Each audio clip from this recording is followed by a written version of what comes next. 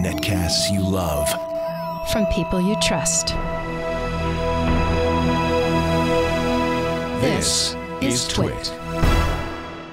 Bandwidth for Twit specials is provided by Cachefly at C A C H E F L Y dot com.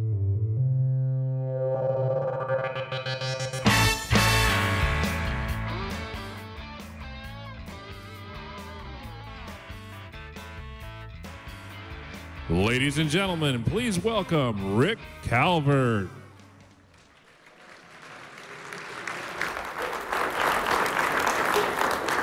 Good morning, everybody. Who's still sleepy? I am. One more day. Unless you're staying for the Web TV Awards, then two more days. One more late night. Um, anybody come to the Podcast Awards last night? Did uh, David H. Lawrence the 17th do an amazing job or what? I mean, last minute, that was fantastic. Um, the photos you're seeing here, um, are you seeing them? No, there you go. Are uh, taken on the photo walk uh, the day before the show opens. So there's so much stuff going on the show, uh, at the show. Um, Aaron Hockley and uh, Denise led this photo walk, and I think there was about 30 people um, who went on this. So next year, if you want to come early and go on the photo walk, um, be sure to sign up for that early A couple of, uh, I also want to try to thank a couple other people. I'm, again, I'm trying to thank as many people as I can. If, if for some reason I leave you off, I, I apologize. It's not because um, we don't appreciate what you do. Um, one person I see, Dave Hamilton. Thanks for coming out this year, Dave. I really appreciate it. Um, Dave's been around since the very first Podcast Expo. And Todd Cochran, again, thank you for keeping the Podcast Awards alive. It's amazing. Uh, Cynthia Sanchez from OS Pinteresting, thank you so much um, for in the front row. Thank you. Um, Lisa Kinsell, actually, who um, we've got Leo coming out in a little bit, but Lisa is the, the woman behind the scenes who kind of makes everything happen. Thank you to her. Um, and thanks again to all of our speakers. Again, amazing job, you guys. Thank you so much for all the hard work that you put into this and the content you give for our attendees. Thank you. We love you. Thank you so much for coming out. For some, so many of you braving the blizzards, thank you once again. Give yourselves a really warm round of applause, all right? All right. Again, thanks to our sponsors, um, Marshall Silver. there is a blog post coming, I promise. Okay? I promise. Uh, Dragon Search, again, Rick, I'm so sorry, man, you couldn't make it. I know you tried everything to get here. Please go by their booth. And um, who's here from Dragon Search? There's one person who made it all by herself. I, what's that? Okay. Anyway, please go by their booth. .me, thanks you guys. Uh, Academy of Web Television, you guys are all welcome to come to the Web Television Awards tomorrow night. We're going to send you an email tonight. There's a code NMX214, uh, NMX 14. It'll be free for you guys to come to the Web TV Awards tomorrow night if you want. That's a red carpet event. It's the Oscars for the internet. Uh, Cliff Ravenscraft, Podcast One, Podcasting A to Z, thank you. Norm Pattiz, who's coming out in a minute here um, from Podcast One, thank you so much. U.S. Army, again, thank you guys for being a sponsor, and thank all of you active duty, retired for your service. Thank you so much. Uh, and WordPress, thank you. Yeah. WordPress, thank you guys. Um, somebody, I've, I've heard it several times, said about 90% of the bloggers here use WordPress. Um, so, so thanks you guys for being here. Justin TV, thank you for hosting the stream.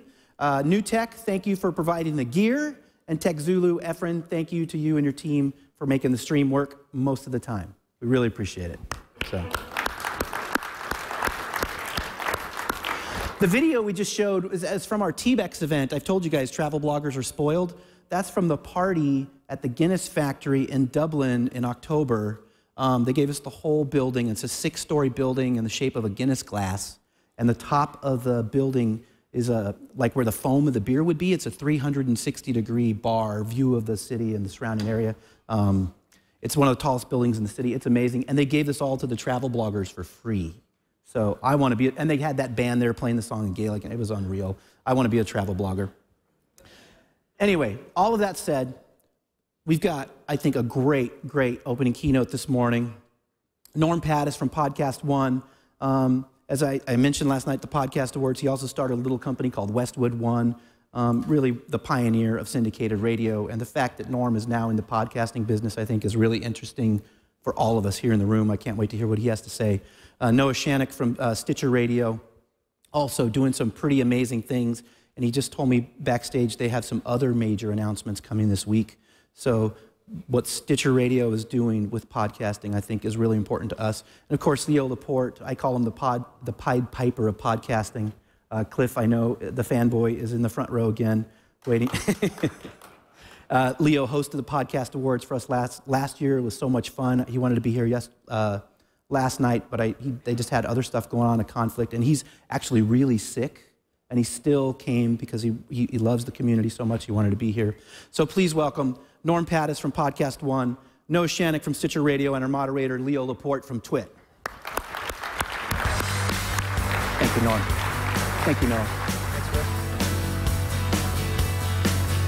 Hey, everybody. Can you hear me? Oh, yeah, there we go. There's a lot of people up there. Well, it's good to see y'all.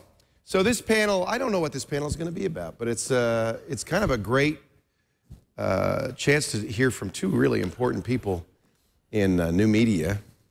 Uh, Noah Shanok uh, founded uh, Stitcher as a way to, what, what, what was your plan with Stitcher? A way to make podcasts easier to listen to. Particularly in the car. Discover. yeah. Particularly in the car. Yeah, and you've done that. You brought it to Ford. Who else? Ford, GM, uh, BMW, um, so, some Mercedes cars, and we've got a couple more big announcements this. Uh, that's exciting. At CES. Yeah, that's great. And I think if you're a podcaster, you're on Stitcher. I mean, that's, you know, it's a must. Uh, Norm Pattiz is a legend in the radio industry. He founded the number one syndication uh, company, Westwood One, how many years ago? 30 years ago? 1977. Oh. Wow. Yeah. And I tried to work for him for years, and he never gave me the time of day. But it, it never got to my desk, and that was when I was a one-man show. But he's also in the Radio Hall of Fame. I mean, what's really interesting to me is that a guy with a with a background in radio would be interested in podcasting at all. Uh, well, what's interesting to me is that a guy in radio wouldn't be interested in podcasting, right. since I think it's the future of audio. Right. Right. I think a lot of radio, uh, you know, we, we're going to have iHeartRadio here on the stage, but instead we'll just bash them. It's, it's easy. It'll be easy. uh, that is Clear Channel's attempt to basically do a Stitcher to get their radio content in your car via 3G and 4G and uh, to listen on the web and you know kind of aggregate all their streaming stuff. Should radio be afraid of what's happening in podcasting right now?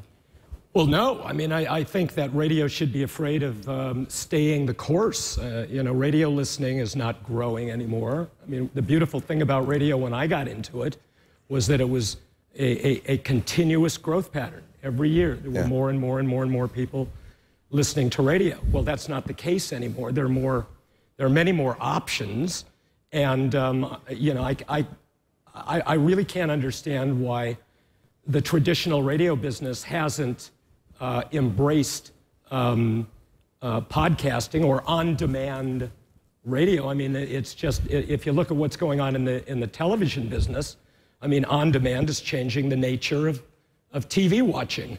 Uh, you know, even even the awards for great programs are being um, uh, heavily influenced by on-demand and by cable and so forth. And I don't see why the same thing isn't going to happen uh, to audio. You need to be able to provide the programming and the content that listeners, i.e., consumers, want to consume when they want to consume it. And I still do a radio show. I work for Clear Channel. I still, uh, and I love radio. I mean, that's how I got in, in the business out of college was radio, and I So do love I. it. Yeah. Um, I think probably radio hates Noah because you are the most direct threat right now to radio. I mean, music. I think music radio's given up, right? Everybody has a. Everybody had an iPod or some other form of music that could program their own music. Then there's Pandora. But talk radio was the last kind of bastion in the car, and you're you're really threatening that directly. I don't know to, to the extent that um, ra- radio uh, is, a, is, a, is a content creator and they, they're the, the best audio content creator. They've Right. been alo- around They're for the a pros. long time. Yeah. We're, we're, we're a great partner to them Right. because um, we're, we're allowing them to easily, without reinventing the wheel, um, get the content that they're already producing to listeners when the listeners want to hear it. Uh, so um, we've got great partnerships in the industry with radio, but certainly the m- moving from AM, FM to, to, to the internet in, in, in general is, is, is daunting for them. Um, Well, it's threatening because they have a business model based on it's the equivalent of a brick and mortar store, right? Uh, a radio station is like a bookstore, uh, and the idea of doing online is threatening to their main business model, isn't it? Can, can I respectfully disagree? you know, look, I, I happen to think that, you know, that, that Stitcher is doing wonderful and terrific things. But just like I, I think the iHeart radio model is a failed model, I don't think that radio is where you go to find the best audio programming and the most creative audio programming. That may have been the case many years ago when no single owner of radio stations can own more than five AMs or five FMs. Now it's just a handful of companies. Well, yeah, I mean, that's the, you know, the five AMs and five FMs, that was in the country, not just in a market. Right. Now you've got, you know, two major radio players, you know, who own most of the major market radio stations um, in the country. And if you don't have some kind of an arrangement with them, you're not going to get your independently produced radio program on their stations. Right. So you can't build a big enough audience to sell to a national advertiser to support what they're doing. So, I mean, you know, when you take a look, um, I, I mean, if you go to iTunes with 250,000 or you go to Podcast One with 200, you'll find a much greater variety of programming than you could ever find on, on local radio stations, and certainly as a national source of supply. Some of our most successful programs could never find a home in broadcast radio. I mean, you know, we, we, we launched, you know, S- uh, Steve Austin, you know, and, and, and we launched um, um, uh, Bret Easton Ellis. You're not, those guys aren't going to get on radio stations, but, you know, they've got a huge amount of downloads because they've got an audience that follows them and they've got a fan base and social media can let their fan base know what they're doing and then by bringing on guests who have their own social media and promoting throughout a network of other programs you can build a self-perpetuating promotional machine radio can't do that and i'm still in the radio business but interestingly enough you know one of my shows loveline has three times the audience on demand that it does for Is its live true? radio show. Yeah, Wow. sure. Wow. Yeah. Um, but Love Line started on radio, so I don't think Noah's It's- completely wrong. It's I mean, still on radio. And yeah, and, and some of the most popular content on Stitcher is ra- is is trad- traditional terrestrial radio content Sure. from, the, from the NPRs of the world to, to the Rush Limbaughs of the world, um, and and and now people can can consume it when they when they want to consume it. So it's Well, a I- better mousetrap. Mousetrap. That's the good thing. That's why radio should embrace what we're doing.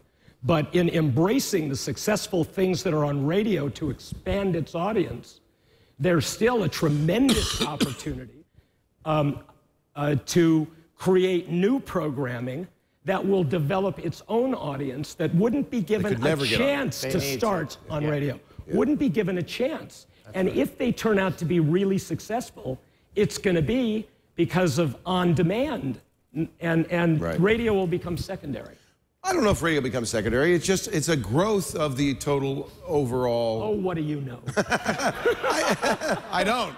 Uh, in fact, I often despair about radio, but I, I think we, it's very common for people to be very black and white and say, well, as soon as, you know, the next thing comes, the old thing's going to die. And I don't think it's gonna be that way. No, think not that- at all. What, what, now, if you were Howard Stern, what would you do today?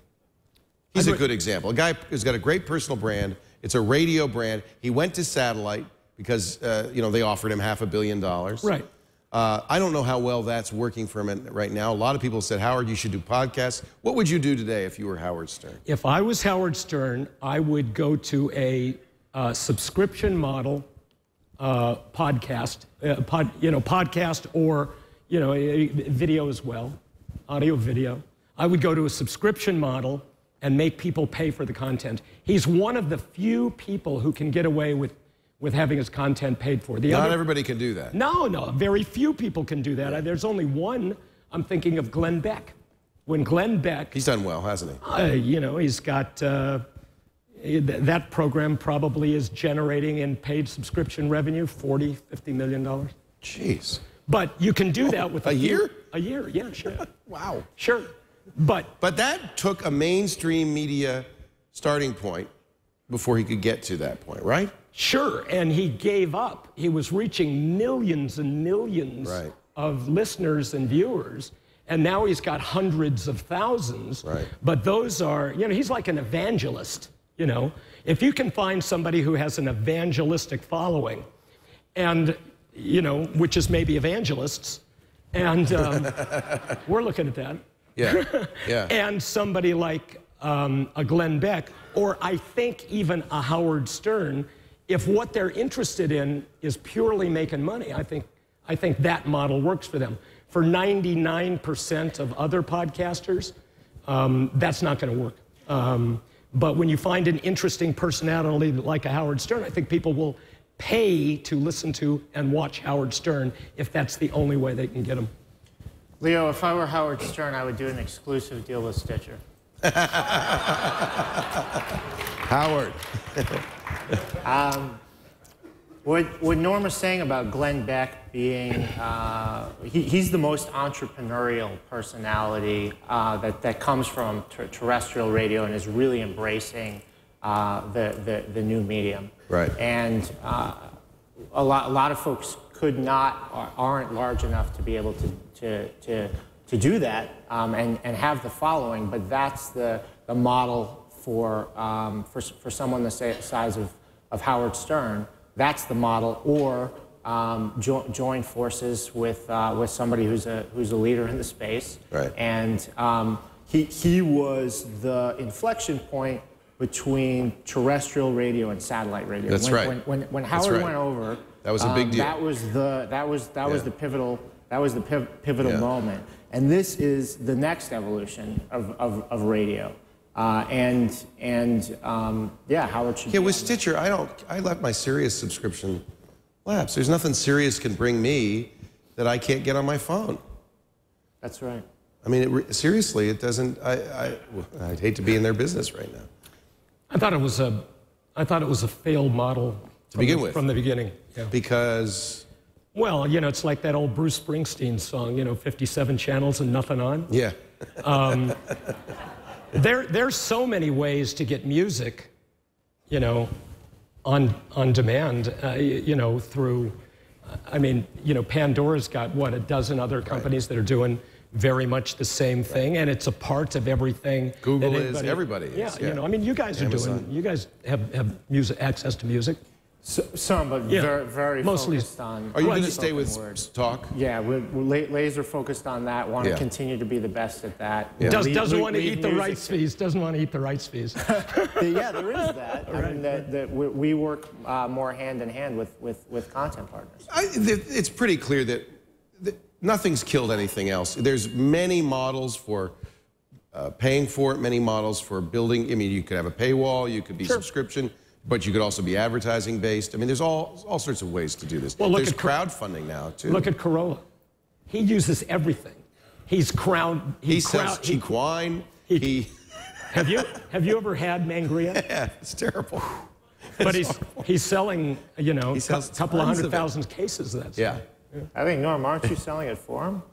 Uh, no, no, that was that was before our deal. We we do now represent him for advertising exclu- exclusively. We had to prove ourselves to do that, and we had to own Dr. Drew, uh, you know, to make that work Yeah, as well. yeah. Drew said, "Okay, they're, they're cool. They're cool." You know, but so um, you total all of Adam Carolla's representation is through you now for, his ad, adver- for ad advertising sales. ad, ad sales. Yeah. Interesting. Do you help him with distribution, production, anything else?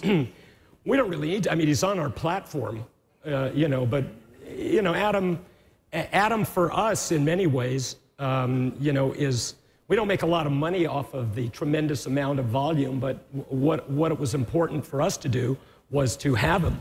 right. And uh, you know, because He's a brand. He, he he is a great brand. And then when we put him together with with other great brands, you know, that were already out there, and now we're producing programs ourselves. That um, is this wood?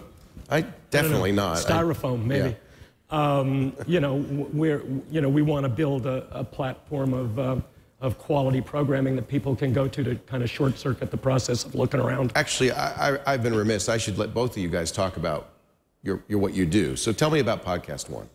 Well, it, you know, it's, it's, it's very simple. I mean, the, the story of West, calling it Podcast One was not by accident because it was an easy story to tell in a variety of areas, least of all consumers, really. The story of Westwood One to Podcast One. Because at my advanced age, I, I didn't really need to do a, a podcasting venture, but I just couldn't understand why nobody was really doing it in the way that we're doing it.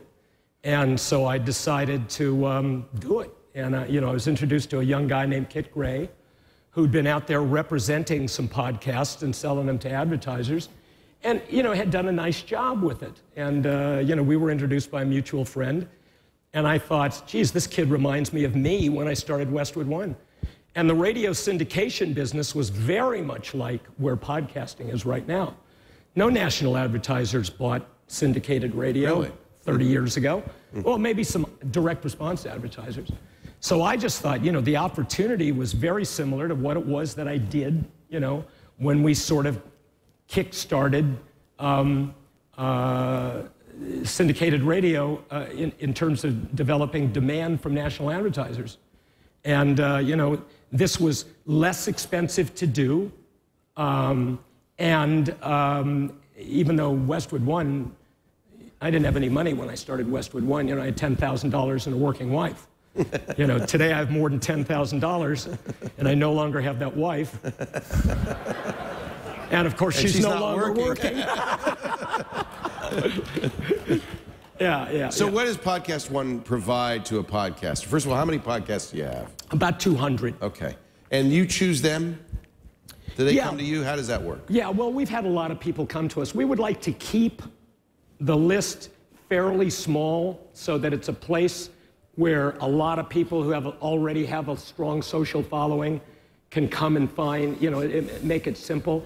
But what Westwood One, I mean, what Podcast One and Westwood One did, it primarily it's a revenue solution um, to generate, we're trying to, and, and so far so good, build demand with national advertisers, Madison Avenue advertisers, Fortune 500 advertisers, the same kind of advertisers that you would see on uh, network television or radio or local television, local radio, in, in order to turn the medium into a medium, you know, that could become you know, at least a few hundred million and maybe, you know, a billion dollar business. When we started in, in syndication, very small business. Now network radio and syndication is a billion and a half dollar business. Right. What does it take to uh, get those advertisers? What, what are they looking for? Well, first of all, I think they're looking for comfort. Um, you know, we have a relationship that goes back 30 years. I think um, they're They don't know the podcast. Who's this guy? I don't, you know. Well, with all due respect to all of the creative people who are sitting in this room right now, y- y- you guys are the product. You know, I mean, you guys are the creative energy uh, primarily. I mean, if I asked for a show of hands, I think I'd see a, a very, very large group of people who are producing their own podcast Right. sitting in this audience. But, you know, um, there, there needs to be there needs to be kind of an organized industry in order to get serious national advertisers to take a look at us in the way that I think we should be looked at if we want to create, you know, a demand that advertisers feel comfortable with. So, you know, you've got to have the kind of reporting that they expect. You've got to have the kind of billing that they expect. You've got to have the kind of production values that they expect. You got to have all the things that they expect. And normally that would be paid for by an industry, but since there really isn't an industry, I'm sort of paying for it myself. And it's the model for them is radio. They see podcasts as just another form of radio. Well, I think they see it, and, and the way we present it is we present it as digital audio on demand. Okay. Okay? And which, which allows us to go to traditional radio buyers. Remember, traditional radio buyers are still spending 16, 17 billion dollars a year. The digital buyers aren't spent, they're spending half that much. Right. And the digital buyers are so granular that it makes it hard for us to get a decent rate when they start drilling down and saying, you know, we want young mothers, you know, um, with a certain birth defect and only one leg. Right. You know, um, you, you know, it's hard to charge a decent CPM for those kinds of things. Right. So Noah, what was the plan when you founded Stitcher? What, and what have you done since? Well, I saw. I so by, by background, I guess I'm. A, I guess I'm an internet entrepreneur. I um, I was on the founding management team of, of StubHub, the ticket company, um, and I started to get really interested in um, audio just personally. Right. Uh, I started a podcast. Um, hired a comedian. Um, started a podcast just for fun. It was basically like a America's funniest home video, but for audio. People That's would like awesome. send in funny clips, and um, and and uh, listeners would vote on the best clips, and then and, and we make a show out of it. Um, and and I, I realized that there was already all this great content out there in podcast form, from um, large radio to to uh, long tail shows about everything under the sun. Um, but but it was it was very difficult to uh, deliver the content, and uh, it was very difficult to find the content that, that you wanted. I remember being on the, the phone with my mom late one night and trying to, to explain to her how she could listen to my, my radio it's too hard, yeah. And it was it, it Yeah. was it was in, you know it was impossible. You have downloading it and syncing and and and um, so I I was an early adopter of Pandora. I saw with a two-way internet connection um, how much better a an experience can be, a listening experience can be. Um, and, and, and how much more personalized it can be. I was also inspired by the number of people that actually went to the lengths that they did to listen to podcasts back in the, the iPod days. It, it, was, it was a clear signal to me of, of how important personalization Right. actually is to people. Right. So um, a lot of it was a, a bet on the timing of the mobile internet um, and, and a bet on the timing of um, the automotive industry embracing um, a, a connected car. You saw your future is in car, pretty much. 50% of radio listening Yeah, is in car. is in car. Um, and and the morning commute is all talk. Right. Um, and, and so uh, we, we knew that that was, um, that, that was necessary for us. So um, we, we, we set about to create uh, an on-demand internet radio company that focused on spoken word, news, talk, and information. Um, and what we believed to be the most important things was uh, easy de- delivery of content so a listener can just press a button and start to listen uh, and it learns from you and, and, um, and then so the, the second part is recommending shows that, that you, you may also like Right. um, and, and so it, it- expanding the universe we have 20000 uh, podcasts on stitcher right now so, so finding the ones that, that, that, that you want is, um, is, is, is not trivial.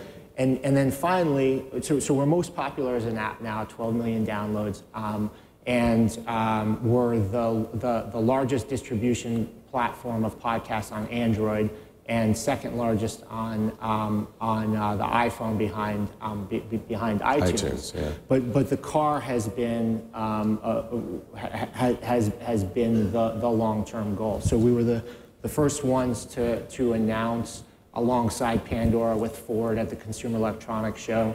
Um, a, a- few years ago, and, and basically the dam broke. All automotive companies re- realized that this was um, that that th- this was the future, and that people wanted um, they, they, they, they wanted in the car what they were already listening to that, that was in their pocket uh, through, through, through a mobile device.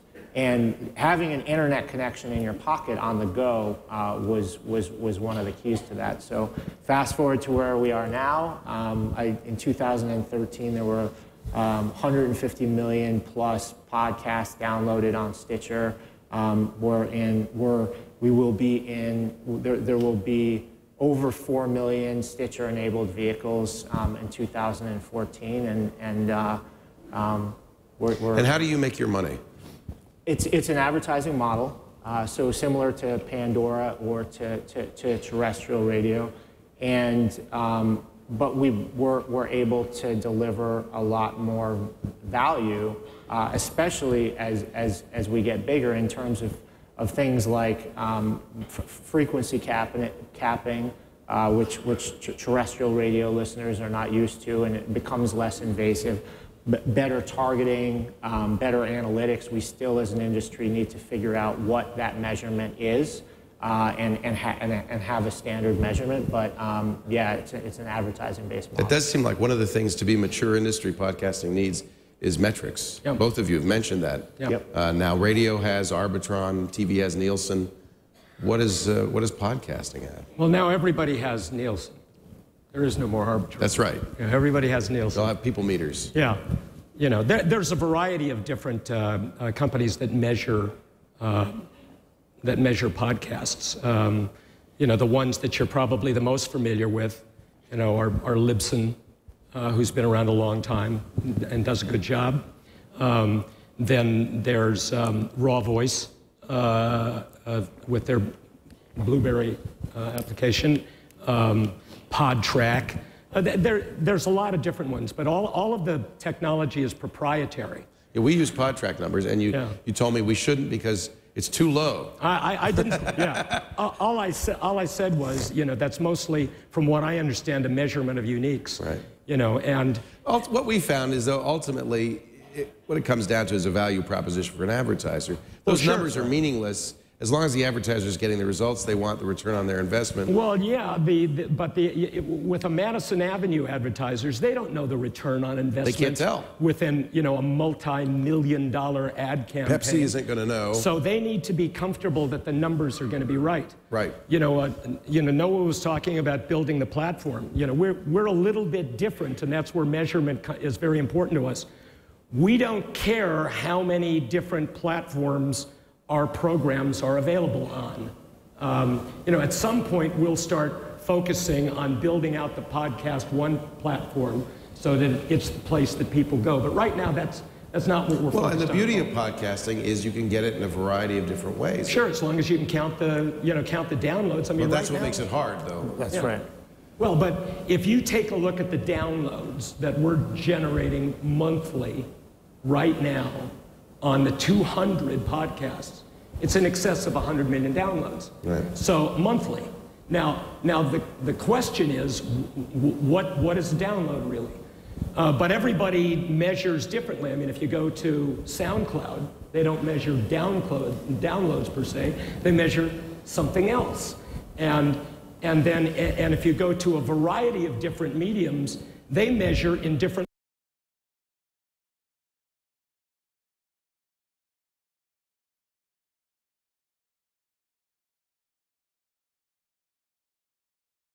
ways. But what you have to remember is all of these measurements are estimates, okay?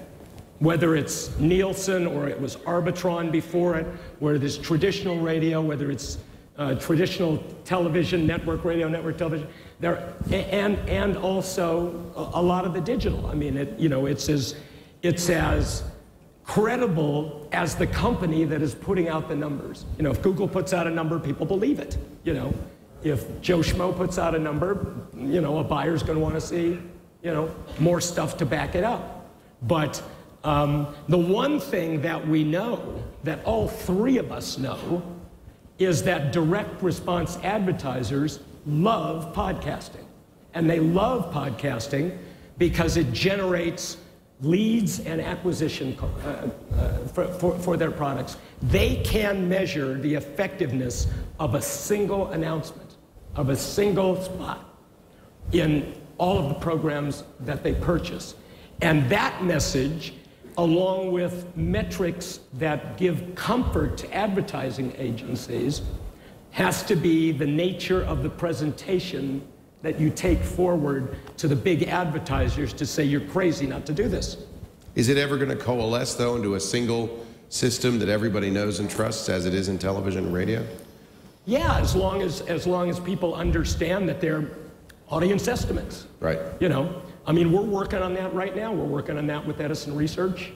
Um, you know, I worked with that back when I was um, um, in the, broad, the U.S. Broadcasting Board of Governors. I was appointed by President Clinton, then reappointed by Bush. So I must have been doing something right, because those two guys don't usually agree on a lot of things. But when I was doing broadcasting in the Middle East, setting up Middle East broadcasting in Arabic of all things, you know, I brought um, Edison Research in and Nielsen to do market research in all, you know, 22 countries of the Middle East. And they were able to put together credible ratings information there. And if we can do it in 22 countries of the Middle East in Arabic, we ought to be able to figure out how to do it here. What is the response of advertisers uh, today to podcasts? No, what, what kind, when you go out and pitch Stitcher, what, what, what kind of response are you getting? We are, uh, so, so, so we pitch it, uh, we, we go in a different door um, than Podcast One. We, we go in the, uh, the, the, the digital door right now. And so we are, um, we're, we're, we're mobile, um, and advertisers are looking for things that are safe and mobile because this is the, you know, we're still in sort of the wild frontier from a mobile perspective. Um, and we're internet radio, so we're, we're, we're competing with the, the, the, the Pandoras of the world. Um, they are very enthusiastic about the fact that one, it's uh, Stitcher's brand safe um, and aligned with, um, with, with, with, really strong brands, and, and two, that there are, um, th there are th things you can do uh, on, the, on, the, on the spoken word side in terms of um, audience targeting based on what we know the, the listener is listening to, based on what their interests are. So you actually are tuning what ads are being played? Yes, depending on what the we, we doing. can. I mean, we, we, we need, um, we're, we're, we're nowhere near Pandora's size. So the more size we have, obviously, the more that we, we, we can target. Um, and, and, but, but that's, that, that's resonating with them. And then the third thing, as, as, as we all know and as terrestrial radio knows, is, is relative to music, spoken word is a, is a much more lean forward experience. The, the, the, the, listener is not only heavily engaged in what they're listening to, they're generally doing, you know, they're, they're, they're, they're, they're doing something else and their mind is totally free to, to, to, to listen. It's not like music, it's, it's sort of playing in the background. They also connect deeply with um, with the hosts. And, and the more long tail the content, the more they connect with the hosts. And one of the reasons that uh, the, the DR side has been so effective um, so, so, so far is because it, a, a, host that you love, that you follow, that, that, um, that maybe many people don't know about, um, if they're, if they're uh, asking you to, to buy a certain thing, you're probably going to do it. Right. So that, that DR is direct response. DR is direct, direct So that's response, where they say call this number right now and uh, order today, and they can measure the effectiveness of the ad directly. That's right. Because, and, and, but we are focused more on as brand. opposed to drink more Pepsi because you're hip and with it, which you can't measure. Right. So spoken word hosts works well with this direct response. It works well with direct response. We are focused more on brand because there's there there um, there there's a lot more. D DR is the, the first step in the opportunity, and there, right. there's a huge amount of brand opportunity. Ultimately, brand is where the growth is going to happen. You, That's right. typical in a new medium. You start with direct response, but you move to brand as you become more established. People trust you more. And you said digital. What's the difference between digital and a traditional media buy? What it, you're working with a different part of the ad agency? Yeah, we're going into the, um, the we're going in for the same dollars that's buying banner ads, internet radio. Okay. Um, they're they're uh, they're buying mobile. They're they're they're buying. They're they're not not the ones buying radio. Right. Uh, See, we've made a conscious decision to go with the traditional buyers. Why is that? Because we think we offer them a value proposition. There's, there's competition within the agencies themselves and at the client level between traditional media buying and digital media buying. And we think that we offer traditional media buyers a digital solution that, that, uh, that gives them something to be able to compete effectively with within their own, um, within their own operations. It, it's, it's sort of like the first people who became interested in what I was doing were talent agents. You know. Um, Why? Well, you know, first of all, uh, you know, I've been sitting courtside at Laker games for the last 30 years. There's eight seats between the Laker bench and the scores table. Four of them are mine, and four of them belong to the William Morris Endeavor Agency. So Ari Emanuel, uh, sits next to me, and I was, I was telling him what I, was, what I was getting ready to do. And he said, You know, that sounds really interesting. Why don't I put a meeting together? I'll get my guys together, my team. Why would they? Why would established big stars be interested? In Because everybody's looking, the agencies are looking for digital solutions for their client base. You know, their, ta- their client base is, is, has gone way beyond just movie stars and TV stars. We're getting their YouTube stars Right. coming in. We're talking Right. to them. We're getting, uh, you know, people. are they hedging their bets because they think this is the, f- you know, they're worried this is the future, or I mean, You, you got to be there. You just have to be- the, to be the, younger, the younger the clients that they have, the more personally involved, you know, in online and, and in it seems that everybody's trying to figure this out. Abs- What's ab- going on? Absolutely. And Right. this is a simple solution to take somebody. And plus, you know, you, you take a look and you think, why is it that, you know, when you take a look at, at iTunes, you know, at, at, at the, uh, at the measurements that I, the rankings and what have you, that, that comedians do so well. Right. Well, they were sort of forced into it. I mean, there isn't, there aren't very comedian, uh, very many comedians that are working today that haven't been screwed by a club owner at one time or another. and so, you know, they got into it not so much to make money. They got into it initially to promote their club dates, merchandising, all kinds of things. Then all of a sudden, It was part of their marketing endeavor. Exactly. Now it's a revenue source. now it's now it's a revenue source, and um, and and you know, In fact, Marc Maron, who's a very successful podcaster, Right. really has made a career now as a TV show based on podcasting. Absolutely. And you're going to see more and more of that. You know, one of the things that we're thinking about doing is we're thinking about opening up what we do to a larger group of podcasts, maybe not the ones that are currently delivering big, big download numbers, but you know, maybe call it the podcast one underground and make it available so that people can come in and sort of sample what's out there and see if it builds organically so that it can move up to the main platform and be saleable to national advertisers. At its peak, how many shows did Westwood One have? Oh, God. Not 200. No, well, when you consider the fact that Westwood One was um, the Mutual Broadcasting System, the CBS Radio Network, Well, maybe you did have- NBC Radio you Network. did have 200. We had 3,000 employees. Yeah. I mean, you know, we. Uh, uh, So this is very much like Westwood One with a different delivery system. and it's, it's, it's like the Westwood One programming side of the business in its early stages. And the numbers, even the revenue numbers, are almost spot on for the first three years of what Westwood One was. Now, I think a lot of people here probably, I don't know. It, I've been in the podcast expo since, since the very first one, and it wasn't about money in the first one. It wasn't about money in the second one. It started becoming a little more about money in the third one. I'd hate to think that podcasting has suddenly become about how can we monetize, how can we make money at this. You know, a guy said to me one time, a guy that I respect who's in the, uh, who's, who's a lawyer, he says, you know something, Pattiz? He was a New York lawyer. He says, you know something, Pattiz? When they say it's not about the money, it's about the money. now, now look, I mean, I, I, I've, worked, I've worked with talent for 30 years, and I know that there are certainly people, you know, especially in the music business when we started out, okay?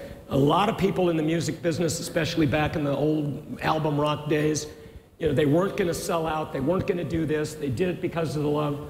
But just as soon as they get exposed to money, it's amazing what a change take, takes place in their life. You know, that's the reason why we want to hook ourselves up with creative people who are interested in the product and let them be interested in the product and let us worry about the other stuff. There you go. 'Cause I think that's why people like me are attracted to podcasting. It's the freedom, the creativity, the chance to do something different and unique. Um, and yeah, I guess if you can make some money while you're doing that, Well, it's it not such turned a out bad to be a thing. good business, It's didn't it? It's not such a bad business. But, but it develops out of passion. but it has to start Yeah, at- with start- the passion. Starts Absolutely. with passion, but Yeah. um, after uh, after so much time, you need to eat. So, Right. Uh, and, Right. and it could stay a hobby, or um, a- a- as we're seeing, this is an industry transformation. But it does feel like there is a growing gulf between the hobby podcasters, of which there are thousands, tens of, maybe, well, hundreds of thousands, we know from iTunes, and then people who have decided this is going to be a, a career, a business, uh, and those are, a, it's a much smaller number. Yeah, but it doesn't eliminate the hobby podcaster from the marketplace. As a matter of fact, I think it gives the hobby podcaster a possibility that maybe what they're doing could catch on. I Right. mean, when you take a look at the viral nature of the business, You nobody can really predict what right. people are going to go out and find interesting. You never know. And that's that's uh, that's the great thing about um, and why we put so much emphasis on on the recommendation engine and on the rankings is that uh, it Discovery gives- is so yeah, important. Discovery and it, it gives it gives shows the opportunity to actually be be found and um, and for them to thrive on their own merit. Do you think a good show will be discovered? Absolutely. If we're if we're doing our job, a good show will be delivered. Will be discovered. And that happens eh, kind of in a snowball effect. Gradually, you accumulate listeners and more listeners. They tell other listeners. Is that how it? The, there's that, and then there's mechanisms for, for, for Stitcher anyway. There, there are mechanisms within the platform. Um, You like this, so you might like that. you like this, so you might like that. We also have, um, you know, f- fastest trending shows, and so so if if um, if a show c- catches on, um, we we help it to gather momentum. Do you find, Norm, with advertisers that there are some shows, even if they're as an audience for that show, that they won't touch? Absolutely. Sure. You know, if there's a little e next to it, you know, on, uh, you know, on the uh, Apple, uh, you know, in, in, in, iTunes. there's a- Explicit, yeah. there's a lot of advertisers who don't want to be in explicit programming. In, interesting case. One of our most successful, you know, because what we're doing is we're producing more and more of our own podcasts.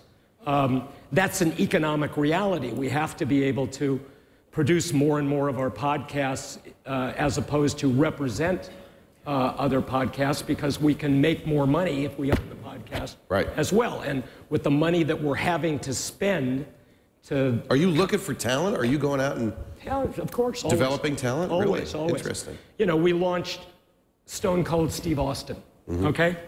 Because I thought that the, the wrestling space had a, you know, a, a group of rabid fans. that's what you're looking for? Absolutely. Yeah. So Yeah, we the went out. and we- engaged, yeah. you know, We yeah. launched him, and you know, immediately, you know, hundreds of thousands of downloads. He's cracked a Yeah. million, you know, a few times. NPR kind of numbers. Yeah. But you know, when he Not does, NPR kind of program, but no, no, no, no. Um, you know, but uh, but we make sure we have enough NPR uh, uh, programs that we represent, even though it's non-exclusively. Well, in a way, that's sure what you're offering in advertisers, and and you too with Stitcher is kind of a safe place to be. That's why YouTube is difficult because right. you don't know what Yeah. you're going to be on. That's right. Right?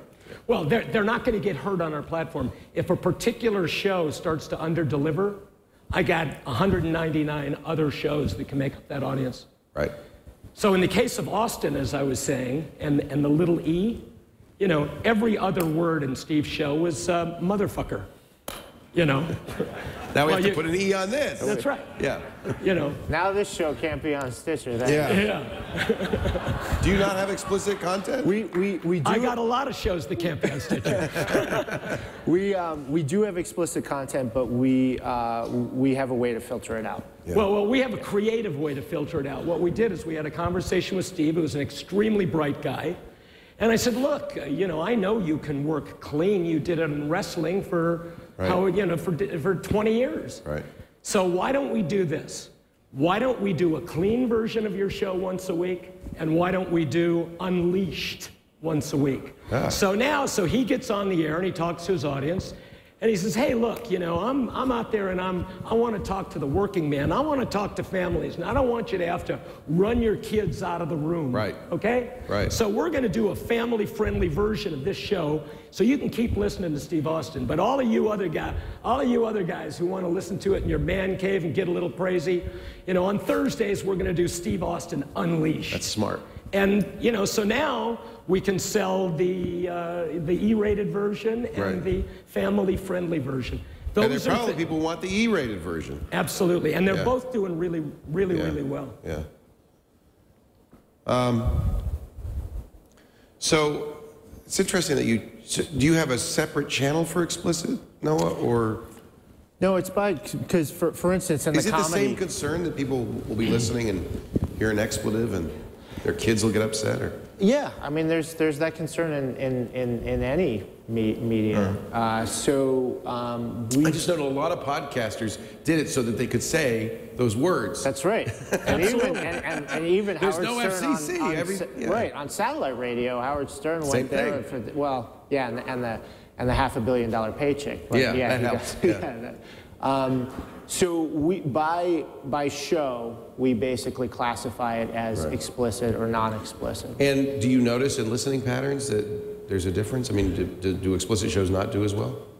No, some some of them do do great. I mean, the whole the whole comedy way around, genre. maybe, yeah. I mean, uh, Comedy Mar- is often explicit. A, a lot of these. and Uh, Mark yeah. Maron's show is called "What the Fuck." Right. So, Well, and it does really, right, yeah, yeah. WTF. Yeah, but, yeah, we know you what it We know what the F. Yeah. We, we know what the F stands yeah, for. yeah. Um, so, and and th- those shows shows do great.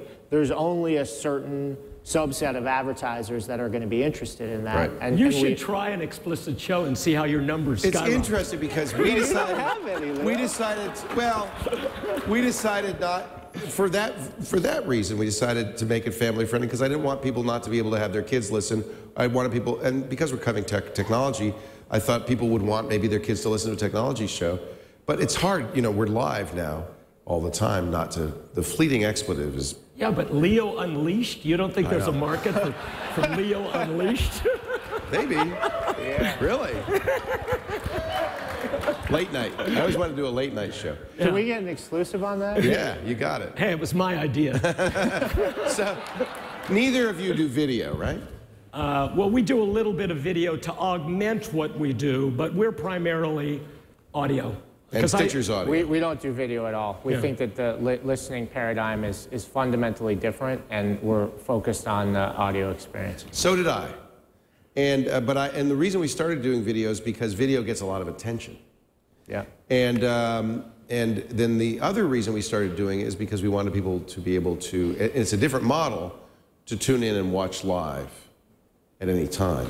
Yeah, but since the primary method, I mean, you know, 70% of our, we've, we've done this across our platform, 70% of our consumption is mobile. Yeah. And it's because of this. Yeah. So, and this is audio. This isn't. it's this in isn't car, video. It's in the car. right? Well, sure. I mean, Yeah. I, you know, I, I drive between Santa Barbara and, and, and LA twice a week, and all I'm doing is listening to podcasts. And it's so easy that, you know, I mean, look, I, I believe that the in-dash solution and deals with car companies are very important. But, you know, this, uh, is, like I said, 70% of our audience consume this. You don't, mobile. you're on Stitcher, right? I mean, your stuff's on Stitcher, right? Yeah, some of our stuff I think is on Yeah. Stitcher. Yeah. There's no reason why I wouldn't. No, no, we want our stuff everywhere. That's the beauty of podcasting. Just, just as long as we're the only ones who can sell the inventory. right. Right. I, I don't care. I don't care where it is. And, and that's not exclusive. I mean, I'm not the exclusive rep, rep for the NPR shows, but we like to have them there because it's a good Sure. place for them to be. But, but most of the shows that we represent, we're the exclusive um, advertising sales representative. And of course, on all of our owned and operateds, we are, because we want to be able to walk into an advertiser and say, here it is, you know, and most of this stuff you can only buy through us. Is uh, is all your stuff CPM cost per thousand? Is that how you bill people, or is Yeah, you know, it usually has something to do with the rate structure. you know, it's loosely based Well, on the number of impressions? it depends whether they're gonna they want you to you know show them uniques, whether they want you to show them, you know. so uh, you de- it sounds like you deal a lot. absolutely. You go in and you say, "Let's." There's no structure here. Let. What do you want? Well, we How don't. we, we don't exactly go in and Do you have say a rate no card? structure. Yeah, sure, we have a Okay. rate card. But you work off the rate card a lot. It's a negotiation. I mean, when you go in to sit down, I've been doing this for 30 years. When you go in and sit down with a media buyer, that media buyer's job is to pay as little for it as they can. and your job is to make and our job much. is to, you know, get as much as we can for Right. our. You know, most of our deals are partnerships with our producers. They're equity owners. They own the program. Right. You know, and we're involved as long as we produce. Right. You know, uh, produce revenues. How do you do it, Noah? CPM? C- CPM, but what we were able to do so many unique things that we can get away from. I mean, they're sa- same thing, loose CPM, but we're able to get away from it by doing things like um, do, doing things that you can do interactively. Value add. Who do you think is going to be MVP of the Super Bowl, sponsored by, and you can vote right on the phone? I mean, that's these are things you can do um, that, that you can never do before. Yeah. And A- and those things are cool and, that- and it's a huge part of what we need to do and i mean it's almost i mean you are so brand you are so unique in what you do i mean you're kind of a 360 sort of package in your own space you you deal with all of the sponsor needs That's fine, but it will only take the business so far. If the business wants to become a billion dollar business so that podcasting can offer tremendous opportunities for everybody who's sitting in this room, whether they just want to do it as a hobby or whether they want to do it as a living, then it's got to be a much bigger business. And you got to start doing business with people who may not be interested in building the brand through the personal association with the podcast. They just want to meet, they just want to be out there and cover every base and cover all of the people. And we have to show them that our consumers are worth being part of that mix. Exact, in fact, they may be the most important part of that overall mix. It seems to me that as they look at their mainstream advertising dollars and try to figure out what the efficiency is of it, and then they compare it with the efficiency of podcast advertising, that that's in podcast's favor, is it not? Absolutely. Has to be. And the kind of interactivity you can offer, Noah, cannot be offered in one way traditional media, radio or TV. That's right. So uh, those things are unique. It's a unique proposition. Absolutely. And ultimately, is it does it mean that podcasting can take a lot of that advertising dollar away from mainstream media? Well, I wouldn't be doing this if I didn't think that podcasting was going to grow while traditional media was going to do no better than remain flat to, to maybe, you know, arc, arc downward. And you think I'm crazy to do video? No, I don't think you're crazy to do video. I think, uh, I don't think you're crazy to do anything. I mean, look at, you, you're doing great. You know, that's, uh, that ain't crazy to me. I mean, It's I- I- expensive. it's complicated. The video, I mean, I look, we stream Loveline. Loveline Yeah. is on the radio every night from 10 to midnight. We're now podcasting Loveline. And we stream Loveline live every night, you know. There's something about live I really like. Stitcher, you don't have a live component. We, we, we've Have you looked at moved that? away from, we, we've dabbled in it a bit, um, but we have really wanted to be focused on the best, on being the best in On on-demand. Yeah. and, and audio and, Yeah. and spoken word. Yeah. And See, we've here's, got, what, here's what you can't do live. You can't pause. that's right, You know, this we're radio with a pause button. yeah. A And- a, and- start when you want button. Exactly. Yeah. And a consume it when you want button. I th- there are certain things that we will never be able to do that have to be done live. News, sports, things that require li- live interaction. But you can still have your interaction with your audience by simply letting them know through social media when you're doing the program Right. if they want to call in And- or if they want to use social media to communicate with New- you. Even news, news is very popular on Stitcher, um, and some of the news providers are putting out news every 10 minutes, and we It's almost have a, It's yeah. it's almost live, and if if it's everybody wants to know when it is live, everybody wants to know they they have this feeling of of safety that if God forbid aliens invaded the planet, they You'll would know it. immediately. Yeah. Right. Um, and, and we're able to provide that for them in the form of, um, of, a, of a breaking news alert. If there's a breaking So news you do alert do that, and, there's, and they're listening to some, something else, as soon as the Go to aliens invade the planet, they get the That's a get the good way to- message. Can I make a little personal aside here? Yes. You're a much better looking man in person than you are in that picture. It's a terrible picture. You know, you're a much. I would, I would do something about that picture.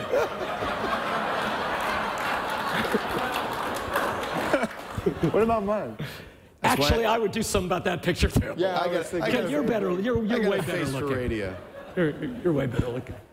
Now my I- picture. here's, why, here's why we do what we do uh, live and video, is I feel like there's a shift in how people consume content, from this notion of wanting to hear every word to wanting to have, and I hope it's not background content like music, but to want to kind of uh, dip in and out of it like you would the Today Show, for instance. And so what we're trying to do is produce content that is a river of content that you don't need to pause because there's just always more. And I, you know, Twitter's like that. A lot of a lot of uh, content that th- that people are getting used to is like that. Where it's just, you, I used to try to read every tweet that had happened since I'd been there. You quickly give that up, and you just treat it as a kind of a, a real time 85 feed. percent of our audience on our platform consumes the podcast at the actual time of the download. Um, so basically, they're not downloading it; they're just listening. They're streaming it, Yeah, basically. Yeah, really. Yeah. You know, so they want it. Uh, and, and that's what happens when you get podcasts that are personality or subject matter centric Right. that, that are very important to the fans of those people. That's why we like to start out, because we don't spend any money advertising, because I don't think we have to. Well, now tell me about that because uh, what kind of marketing does podcasting need to do? Why don't you have to? Well, because I got 200 podcasts with a loyal group of followers for each one, which probably represent at least 100 different communities. Okay? So if I'm going to take somebody who has a strong following already, we're going to let their fans know that they're going to have a podcast. Then we're going to be selective about the people that come on as guests and so forth on that podcast, and hopefully they'll have a strong social media. So that's how you market it. as well. Yeah, and then we promote it Right. in all of the other podcasts. So it becomes this sort of self-perpetuating promotional machine. But let me just say this. There's a lot of times you put a guest on who has no social following simply because it's the right guest Yeah. for that program, Yeah. or you deal with a subject matter simply because it's the right thing creatively to do. You can't get in the way of the creative process, but you can do a few things that we've all learned over the years that will generate audience awareness. Yeah, we do that too. We, The people we bring on the shows very often have their own communities, Sure. and it's a way of merging uh, two communities. We put Kathie Lee Gifford on the air because she's on She NBC. has a podcast? Yeah, yeah. What's doing- Kathie Lee's podcast? It's it's Kathie Lee and Company, and she interviews a whole bunch of people. She's interviewed. Uh, How interesting. her first show was with Regis Philbin. Her last show was with uh, Kris Jenner. Now, You know? that, now her demographic is def, is not definitely not what you traditionally think of as a as the podcast market. It's uh, housewives. It's older housewives. We're not worried about what it has been. We're worried about what it's going to be. That's right. And, and the, the wider it gets, the better.